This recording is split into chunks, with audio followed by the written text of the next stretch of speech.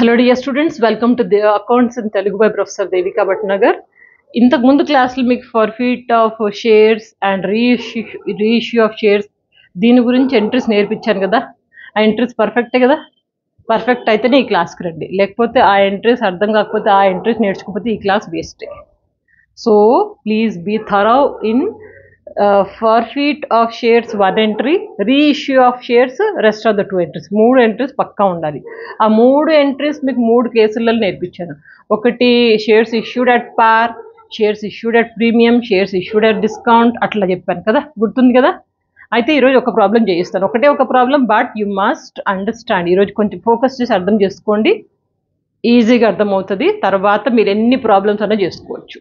Okay సరే ప్రాబ్లంకి వెళ్ళిపోదాం. కొంచెం స్లోగా అర్థం చేసుకోండి మెల్లగా. A company invited the public to subscribe one lakh equity shares at the rate one ten rupees each company అంటే ఒక వన్ ల్యాక్ షేర్స్ని ఇష్యూ చేసింది. ఈచ్ షేర్ అంతా ten rupees each at a premium of one rupee per share ten rupees each కానీ premium ఒక one rupee పెట్టారు. అంటే eleven రూపీస్కి ఇష్యూ చేస్తారు. కదా? On application three rupees on allotment three rupees ఇక్కడ అలాట్మెంట్లో ప్రీమియం ఇంక్లూడ్ అయింది. ఓకేనా? And on first call three rupees and on final call two rupees దీన్ని ఇక్కడ మీకు సపరేట్గా రాశాను. Application three rupees allotment three rupees ఇక్కడ ప్రీమియం ఒకటి ఉంది వన్ రూపీ ఇది ఇంక్లూడ్ అయింది. అంటే అలాట్మెంట్ టూ రూపీసే premium one rupee first call three rupees second call two rupees ఇట్లా మొత్తం కలిపితే మనకి లెవెన్ రూపీస్ అయింది కదా. ఇక్కడ దాకా గుర్తుపెట్టుకోండి. క్లియరే కదా? తర్వాత చూడండి కథ. Applications were received for one lakh thirty thousand shares issue చేసిందంతా వన్ ల్యాకే కదా. వన్ ల్యాక్ ఇష్యూ చేస్తే one lakh thirty thousand shares వచ్చాయంట. అంటే థర్టీ థౌజండ్ ఎక్స్ట్రా కదా? ఎక్స్ట్రా అంటే ఓవర్ సబ్స్క్రిప్షన్ ఓవర్ సబ్స్క్రిప్షన్ అయింది. అయితే వీళ్ళు ఏం చేస్తున్నారు? ఇప్పుడు ఓవర్ సబ్స్క్రిప్షన్ అయితే applications for twenty thousand shares were rejected ఈ ముప్పై థర్టీ థౌజండ్ ఎక్కువ వచ్చాయి కదా దాంట్లోంచి ట్వంటీ థౌజండ్ రిజెక్ట్ చేస్తున్నారు. వద్దు హెల్ప్ అనేసి వెనక్కి ఇచ్చేస్తున్నారు rejecting and allotment was made proportionately of the remaining applicants మిగిలిన టెన్ థౌజండ్ ఉంది కదా ఆ టెన్ థౌజండ్ని అట్లో ఇట్లో కలిపి ప్రపోర్షనేట్గా వాళ్ళు అలాట్ చేస్తున్నారు. ఇది ఒక్కటి గుర్తుపెట్టుకోండి. ఓకేనా? తర్వాత all the money due was received మొత్తం వచ్చేసింది. Except the final call on three thousand shares final call ఏది? టూ రూపీస్ కదా. దీంట్లో త్రీ థౌజండ్ షేర్స్ రావట్లేదట. త్రీ థౌజండ్ షేర్స్ అందుకని ఇక్కడ రాసి పెట్టాను. త్రీ థౌజండ్ టూ రూపీస్ కదా ఈచ్ వన్ ఎంత అవుతుంది? సిక్స్ థౌజండ్ రావట్లేదు.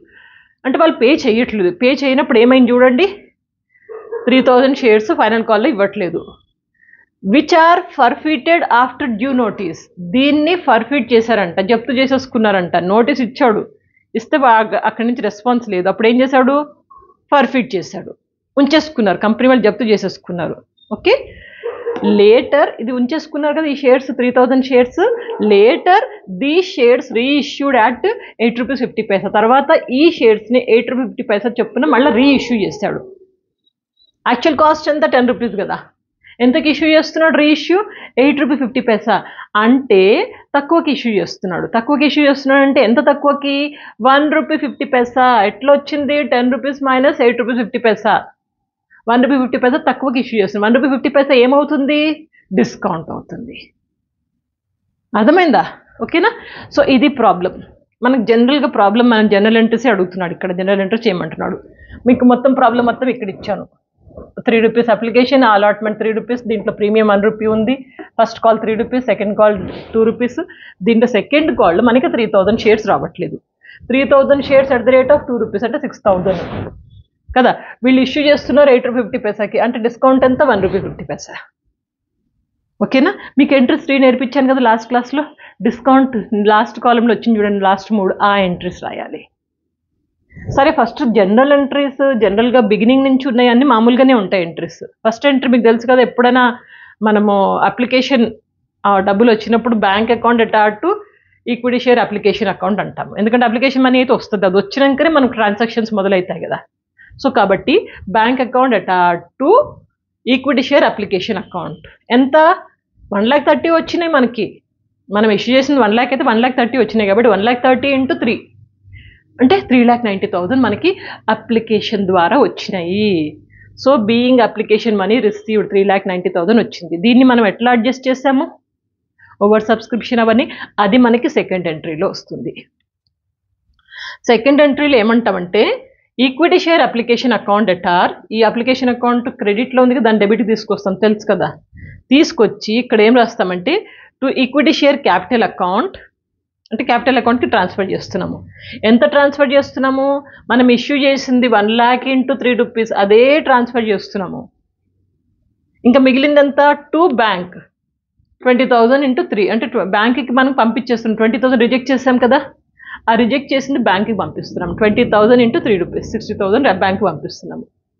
ఇంకా టెన్ థౌసండ్ మనం అడ్జస్ట్ చేస్తున్నాం కదా దాన్ని మనము టూ షేర్ అలాట్మెంట్ అంటాము. ఈ టెన్ థౌసండ్ అలాట్ చేస్తున్నాం కాబట్టి to share allotment ten thousand into three. ఇది త్రీ ల్యాక్. త్రీ ల్యాక్ ఏమో మనం ఇష్యూ చేసింది. ఈ సిక్స్టీ థౌసండ్ అంటే twenty thousand into three. Twenty thousand return చేస్తున్నాం కదా ఇది రిటర్న్ చేసింది. ఇది మనం అలాట్ చేసుకుంటున్నది ఎక్స్ట్రా. ఓకేనా? ఈ ఎంట్రీ గుర్తుపెట్టుకోండి. Equity share application account అటార్ to equity share capital to bank to share allotment to bank అంటే రిజెక్ట్ చేసింది. టు అలాట్మెంట్ అంటే ఎక్స్ట్రా టెన్ థౌసండ్ యాక్సెప్ట్ చేసింది. ఓకేనా? So all together three lakh ninety thousand as it ఈస్గా ఇస్తాం ఇది second entry ఈ second entry ఏంటి? ఓవర్ సబ్స్క్రిప్షన్ అడ్జస్ట్మెంట్ చేయడానికి. దీనికి నరేషన్ ఏం రాస్తున్నాము? Being application money for one lakh shares is transfer to share capital account and balance is return to applicant and also used for allotment of shares three lakh transfer చేస్తున్నాము. Plus కొంచెము reject చేస్తున్నాము. కొంచెము కొంచెం అంటే ఏంటి? Thirty thousand మనం బ్యాంక్కి transfer చేస్తున్నాం. దానికోసం మూడు ఉన్నాయి ఇక్కడ. క్లియర్ ఇది ఒక్కటి కొంచెం గుర్తుపెట్టుకోండి. దీని తర్వాత అన్ని నార్మల్ ఎంట్రీస్ ఇక మనకి అప్లికేషన్ అయిపోయింది కదా. తర్వాత ఏంటి? నెక్స్ట్ అలాట్మెంట్ అలాట్మెంట్ డ్యూకి ఒక ఎంట్రీ రాస్తాము. అలాట్మెంట్ అమౌంట్ రిసీవ్డ్ అప్పుడు ఒక ఎంట్రీ రాస్తాం. అట్లాగే ఫస్ట్ కాల్కి డ్యూకి ఒక ఎంట్రీ అండ్ రిసీవ్డ్కి ఒక ఎంట్రీ సెకండ్ కాల్ కూడా డ్యూ ఎంట్రీ రిసీవ్డ్ ఎంట్రీ ఇంతకుముందు నేర్చుకున్నాము అవి సేమ్ అవే ఎంట్రీస్ మామూలుగానే రాయాలి. ఇప్పుడు డ్యూ ఉంది కదా అలాట్మెంట్ డ్యూ అలాట్మెంట్ డ్యూకి ఏంటి ఎంట్రీ మీకు తెలుసు. Equity share allotment account అటార్ to equity share capital account కానీ ఇక్కడ మనకి ప్రీమియం కూడా ఉంది కదా. ప్రీమియం ఉంది కాబట్టి టూ సెక్యూరిటీస్ ప్రీమియం అంటున్నాము. లేకపోతే మామూలుగా షేర్ అలాట్మెంట్ అకౌంట్ అటార్ షేర్ క్యాపిటల్ అకౌంట్ అంటాము. ఇక్కడ ప్రీమియం ఉంది కాబట్టి టూ సెక్యూరిటీస్ ప్రీమియం అంటున్నాము. ఎంత అలాట్మెంట్కి మనం పెట్టాము? ఇక్కడ త్రీ రూపీస్లో టూ రూపీసే అలాట్మెంట్. ఒక్క రూపీ ఏమో ప్రీమియం కదా. సో టూ రూపీస్ అంటే ఇప్పుడు మనకి ఎంట్రీ ఇది. దీంట్లో one lakh into two rupees two lakh. One rupee ఉంది కదా. వన్ రూపీ ఏంటి? ప్రీమియం కదా. సో కాబట్టి one rupee into one lakh ఇది వన్ ల్యాక్. రెండు కలిపితే త్రీ ల్యాక్ అవుతుంది. ఇదేంటి? అలాట్మెంట్ డ్యూ అలాట్మెంట్ డ్యూకి ఇది వచ్చినప్పుడు అలాట్మెంట్ వచ్చినప్పుడు అలాట్మెంట్ మనీ వచ్చినప్పుడు bank account అటాటు share allotment account equity share allotment account తెలుసు కదా ఇది. ఎప్పుడైనా డ్యూ ఏమో ఇట్లుంటుంది. ఈక్విటీ షేర్ అలాట్మెంట్ అకౌంట్ అటాటు షేర్ క్యాపిటల్ అకౌంట్ వచ్చినప్పుడు బ్యాంక్ అకౌంట్ అటాట్ ఎక్కడి నుంచి వచ్చింది? షేర్ అలాట్మెంట్ నుంచి వచ్చింది. సో కాబట్టి ఈక్విటీ షేర్ అలాట్మెంట్ అకౌంట్ అంటాం. అంటాము ఎంత వచ్చింది సేమ్ అదే. త్రీ ల్యాకే వచ్చేసింది. ఇది ఎక్కడ? ఇది అలాట్మెంట్ వచ్చింది. అట్లనే ఫస్ట్ కాల్ కూడా. ఫస్ట్ కాల్కి రావాల్సిన దానికి ఏం ఎంట్రీ అంటాము? Equity share first call account అటాడ్ to equity share capital account రావాల్సిన దానికి. ఫస్ట్ కాల్ అమౌంట్ ఎంత రావాలి? త్రీ రూపీస్ కదా. Three rupees into one lakh ఎక్కడ పోయింది ఇది? ఇది one lakh into three rupees ఇది త్రీ ల్యాక్ రూపీస్ రావాలి. వచ్చినప్పుడు బ్యాంక్ అకౌంట్ అటాడ్ టు ఎక్కడి నుంచి వచ్చింది? Equity share first call account. Same ఇట్లనే ఇంతకుముందు వేసాం కదా అట్లనే. సేమ్ ఎంట్రీ వచ్చినప్పుడు bank account added to equity share first call account. Narration being due money received ఇక్కడేమో being money due on first call ఇది వచ్చినందుకు being due money received on first call అయిందా? ఇక సెకండ్ ఎంట్రీ ఇక ఇది second call second call కూడా due ఉంది కదా. డ్యూకి ఏమని రాస్తాము? Equity share second call account అట to equity share capital account డ్యూకి డ్యూకి ఎప్పుడైనా ఇదే ఎంట్రీ అండి ఇది. ఎక్కడుంది ఇది? ఇది ఇది ఈ ఎంట్రీ సేమ్ అదే ఎంట్రీ కాకపోతే ఇక్కడ మనము ఫస్ట్ కాల్ అన్నాం ఇప్పుడు సెకండ్ కాల్ అంటాం అంతే. డ్యూ ఎంట్రీ ఎంత డ్యూ టూ రూపీస్ కదా? Two rupees into one lakh two lakh due ఉంది. So being money due on second call అయితే మనకి టూ రూపీస్లో టూ రూపీస్ ఉంది కదా దాంట్లో ఈ వన్ ల్యాక్లో త్రీ థౌజండ్ షేర్స్ రావట్లేదు. రాసుకున్నాం కదా ఇక్కడ. త్రీ థౌజండ్ రావట్లేదు అన్నాడు లాస్ట్ కాల్ కాల్లో రావట్లేదు. మిగిలింది వచ్చింది కదా? ఇది డ్యూది డ్యూ తర్వాత ఏం రాస్తాం మనము? వచ్చినందుకు రాస్తాం కదా. రిసీవ్డ్ అప్పుడే ఎంట్రీ సేమ్ ఇదే ఎంట్రీ బ్యాంక్ అకౌంట్ అటార్డ్ టు ఇక్కడ ఫస్ట్ కాల్ బదులు సెకండ్ కాల్ అంటాం. Bank account అటార్డ్ to equity share second call account మొత్తం రాలే మనకి డ్యూ ఎంత ఉంటే మొత్తం రాలేదు. ఎంత వచ్చింది? ఇక్కడ త్రీ థౌ సిక్స్ థౌజండ్ రావట్లేదు. కదా? త్రీ థౌజండ్ షేర్స్ రావట్లేదు. Three thousand shares into two rupees అంటే సిక్స్ థౌజండ్ రావట్లేదు. సో కాబట్టి ఇక్కడ నేను రాశాను. వన్ ల్యాక్ వన్ ల్యాక్ షేర్స్కి టూ రూపీస్ చొప్పున one lakh shares into two rupees చొప్పున అయితే మనకి టూ ల్యాక్ రావాలి కదా? ఇది కదా? ఇది కదా? ఇది రావాలా? కానీ మనకి సిక్స్ థౌజండ్ రావట్లేదు. మైనస్ సిక్స్ థౌజండ్ ఎంత వచ్చింది? ఇప్పుడు one lakh ninety four thousand వచ్చింది. క్లియరే కదా పాయింట్ ఇక్కడ దాకా మనకు తెలుసు అన్ని. ఇక్కడ దాకా మనం ఇంతకుముందు చేసిన ప్రాబ్లమ్స్లో కూడా ఇంతే చేసాము. అయితే రావట్లేదు. ఈ రాని దాన్ని ఏం చేస్తాడు ఇప్పుడు ఇక్కడ? ఇక్కడ చెప్తున్నాడు రావట్లేదు. Which was forfeited after due notice దీన్ని ఫర్ఫిట్ చేశాడంట. ఈ త్రీ థౌజండ్ షేర్స్ని మళ్ళా ఇష్యూ రీఇష్యూ చేశాడు ఎయిట్ ఫిఫ్టీ పైసకి అంటే ఇప్పుడు మనకి ఫర్ఫిట్కి ఒక ఎంట్రీ రీఇష్యూకి రెండు ఎంట్రీలు మూడు ఎంట్రీలు రాయాలి. ఆ మూడు ఎంట్రీలు ఇక్కడ చూపిస్తున్నాను. ఫర్ఫీట్కి మీకు ముందే చెప్పాను. ఎప్పుడైనా క్యాపిటల్ షేర్ క్యాపిటల్ అనేది ఇక్కడ దాకా మనకి క్రెడిట్ అయ్యేది. ఇప్పుడు మాత్రం ఫర్ఫీట్ దాంట్లో డెబిట్ అవుతుంది. ఎందుకంటే cancellation of that okay so ఫర్ఫీట్కి entry గుర్తుపెట్టుకోండి. Share capital equity share capital account అటార్ to equity share second call account to shares forfeit account ఈ ఎంట్రీ ఎట్లొచ్చింది మీకు ఆల్రెడీ చెప్పాను. మళ్ళీ ఒకసారి చెప్తాను. అయితే మనకి ఎంత రావాలి? మొత్తము థర్టీ థౌజండ్ కదా? అయితే ఈక్విటీ షేర్లో సెకండ్ కాల్ రావట్లేదు ఎంత సిక్స్ థౌజండ్ రావట్లేదు. సిక్స్ థౌజండ్ రావట్లేదు. మిగిలిన ఎయిట్ ఎయిట్ రూపీస్ అయితే వచ్చింది కదా మొత్తం టెన్ రూపీస్. దీంట్లో మనకి టూ రూపీస్ రావట్లేదు.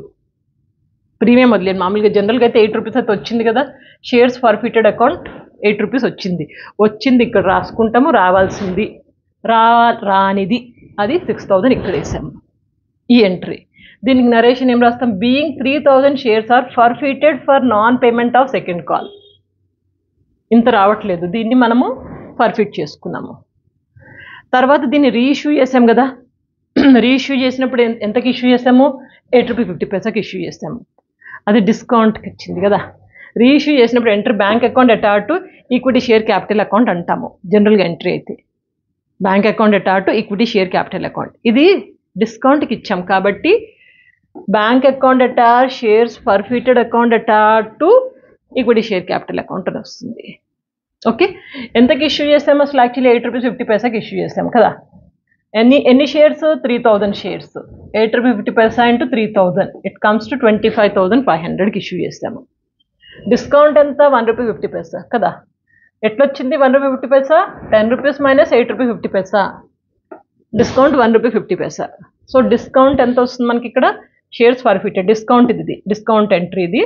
Three thousand into one rupee fifty paisa it comes to four thousand five hundred all together అయితే థర్టీ థౌజండ్ మనకి. కదా? ఇది ఏంటి? Reissue of the shares A shares three thousand shares తర్వాత మనకి ఇక్కడ ప్రాఫిట్ ఎంతో కొంత వస్తుంది. దాన్ని మనము రిజర్వ్కి ట్రాన్స్ఫర్ చేయాలి. దానికోసం ఎంట్రీ షేర్స్ ఫర్ఫిటెడ్ అకౌంట్ అటార్ టు క్యాపిటల్ రిజర్వ్ అకౌంట్. ఇది కామన్ ఎంట్రీ ఎప్పుడు ఇదే వస్తుంది. ట్రాన్స్ఫర్ చేయడానికి రిజర్వ్. ఏంటిది? షేర్స్ ఫర్ఫిటెడ్ అకౌంట్ అటాట్ టు క్యాపిటల్ రిజర్వ్ అకౌంట్. ఇది ఎట్లా వస్తుందంటే కనుక మనకి యాక్చువల్లీ రావాల్సింది ఎంత thirty three thousand into eight rupees fifty paisa. Three thousand into eight eight rupees fifty పైసాకి మనము ఇష్యూ చేసాము. ఇష్యూ చేసినప్పుడు మనకి ఇంత వచ్చింది. బట్ యాక్చువల్లీ ఎంత అండి వాళ్ళు ఇవ్వాల్సింది ఎంత ఇవ్వాలి అతను? Three thousand shares into two rupees sixty six థౌజండే ఇవ్వాలి. సిక్స్ థౌజండే ఇవ్వాలి. అయితే మనము ఇంత ఇష్యూ చేస్తున్నాము. ఆ సిక్స్ థౌజండ్ ప్లేస్లో ఇంత ఇష్యూ చేస్తున్నాము. మనకు సిక్స్ థౌజండ్ రావాల్సి ఉంటే మనం ఫోర్ ఫిట్ చేసుకొని ఫర్ ఫిట్ చేసుకొని ఇంతకి ఇష్యూ చేస్తున్నాం. ట్వంటీ ఫైవ్ థౌసండ్ ఫైవ్ హండ్రెడ్కి ఇష్యూ చేస్తున్నాం. అంటే ప్రాఫిటే కదా మనకి? ప్రాఫిట్ ఎట్లా వస్తుంది? Twenty five thousand five hundred minus six thousand ఇది మైనస్ సిక్స్ థౌసండ్ ఇంత రావాలి. కానీ మనం దాన్ని ఫర్ఫిట్ చేసుకొని అంటే ఈ అమౌంట్ అంతా తీసేసుకొని మనం ఇష్యూ చేస్తున్నాం మళ్ళా. కాబట్టి మనకి ఈ ప్లేస్ బదులు ఇంత ఇంత ఇంత రావాల్సిన దానికి ఇంత ఇష్యూ చేస్తున్నాం. అర్థమవుతుందా? ఇంత అమౌంట్కి మనం ఇష్యూ చేస్తున్నాం రీ ఇష్యూ చేస్తున్నాము యాక్చువల్ వాల్యూ అమౌంట్ సిక్స్ థౌజండే కదా. మరి అందుకని ఈ డిఫరెన్స్ ఎంత? Twenty five thousand five hundred ఇది minus six thousand six thousand ఆ difference nineteen thousand five hundred ఇది ప్రాఫిట్ ప్రాఫిట్ని ఏం చేస్తున్నాం మనము? క్యాపిటల్ రిజర్వ్కి ట్రాన్స్ఫర్ చేస్తున్నాము. ఎట్లా? షేర్స్ ఫర్ఫిటెడ్ కాబట్టి. So entry share shares forfeited account at are to capital reserve account nineteen thousand five hundred transfer చేస్తున్నాము. క్యాపిటల్ రిజర్వ్కి ప్రాఫిట్ అది. ఇప్పుడు మనం ఏం రాస్తున్నాం? Being the profit on forfeited shares transfer to capital reserve account అంతే. Simple screen shot తీసుకోండి మీకు మళ్ళీ ఒకసారి రీక్యాప్ ఇస్తాను. క్లారిటీ ఉంటుంది.